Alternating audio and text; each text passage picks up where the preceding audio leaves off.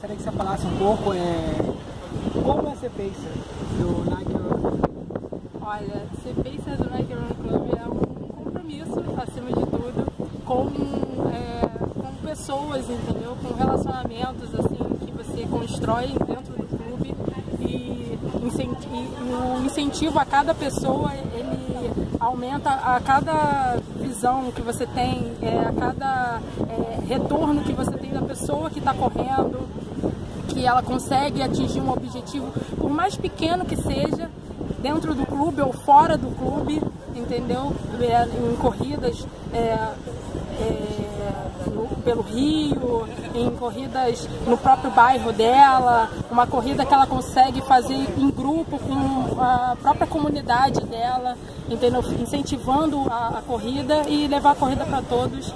Eu, é eu, acho que é o que mais é, diz como é ser pacer. Valeu, valeu, bacana. bacana. Show? Obrigadão, show.